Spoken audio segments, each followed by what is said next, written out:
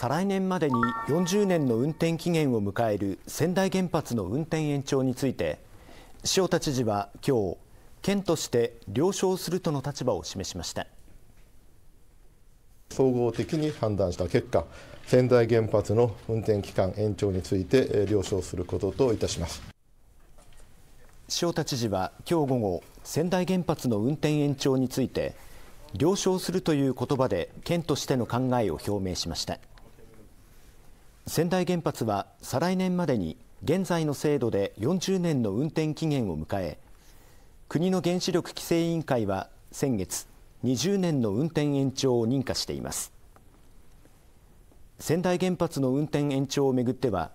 すでに薩摩川内市の田中良次市長と市議会そして県議会が容認しています。法令上地元の同意は必要とされていませんが塩田知事は了承という言葉で県の態度を表明した理由について次のように述べています。状況を理解しまた踏まえてそれで、えー、まあ、良しとするという意味では、まあ、了承という言葉の方がまあ、五感的に、えーまあ、合ってるのかなというふうに考えたところであります。まず第一は県民の皆様あということかというふうに思いますけれども、まあ、その他にも、まあ、国に対してあるいは事業者に対しても、え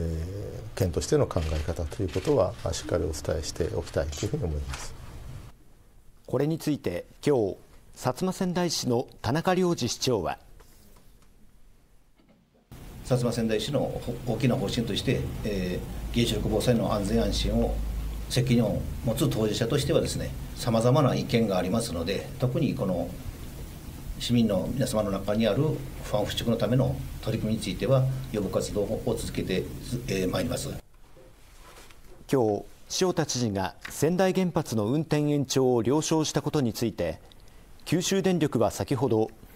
運転開始40年以降も安全安定運転に万全を期すとともに安全性と信頼性の向上に向けて真摯に取り組んでいくとコメントを出しました。